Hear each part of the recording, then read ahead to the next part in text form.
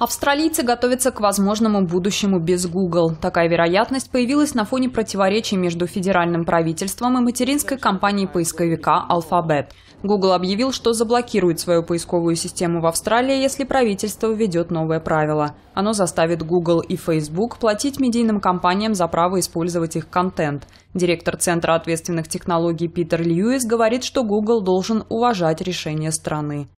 Конечно, они должны платить. Предложение австралийского парламента – это результат 18 месяцев тщательной разработки. Оно пользуется поддержкой всех основных партий, одобрено всеми основными новостными организациями. Это хорошая политика для регулирования крупных технологических компаний. И компании должны признать, что когда они работают в условиях демократии, то должны применяться законы страны. Австралийцы в основном поддерживают планы правительства. Если компания хочет вести бизнес в Австралии, то должна следовать ее законам. Если правительство говорит, что она должна платить за новостной контент, то она должна платить. Таковы наши правила.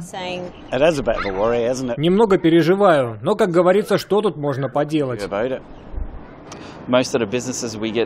Большая часть нашего бизнеса основана на Google, Google Ads, Google Analytics. Интересно посмотреть, куда мы придем. Но это только начало. Посмотрим.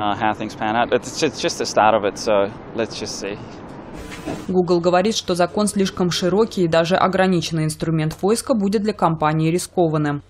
Я надеюсь, что Google будет уважать своих пользователей в Австралии и признает, что сети, подобные Google и Facebook, сильны благодаря пользователям. Если они будут относиться к ним с пренебрежением, то не будут успешными компаниями. Google не раскрывает объемы своих продаж в Австралии. Однако известно, что реклама в результатах поиска в целом приносит компании больше всего прибыли.